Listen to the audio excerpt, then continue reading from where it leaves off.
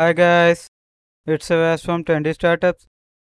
Today I'm gonna show you how to fix if your laptop or your PC's screen brightness wants change. So let's get started. So guys, to fix this error, you have to simply right click on start button. And here you can see the option of device manager. Click on device manager. Now you have to find here the option monitor. So here it is. So expand the option monitor here you can see this driver. So simply right click on this.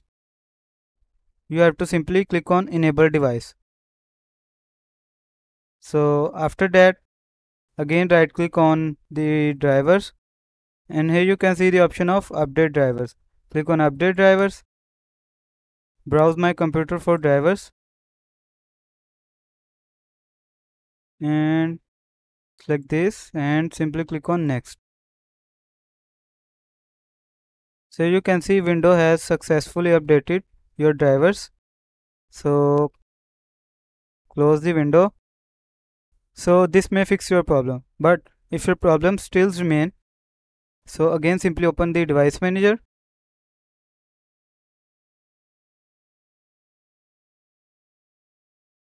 So here you can see the option of display adapters.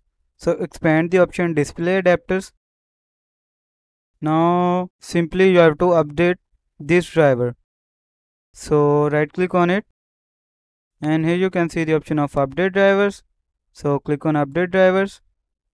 Browse my computer for drivers. So you have to select here this and simply click on next.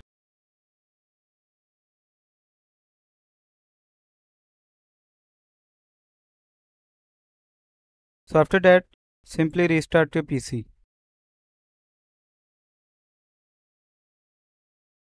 This may fix your problem. I hope this information was helpful for you. Thank you for watching. Have a good day.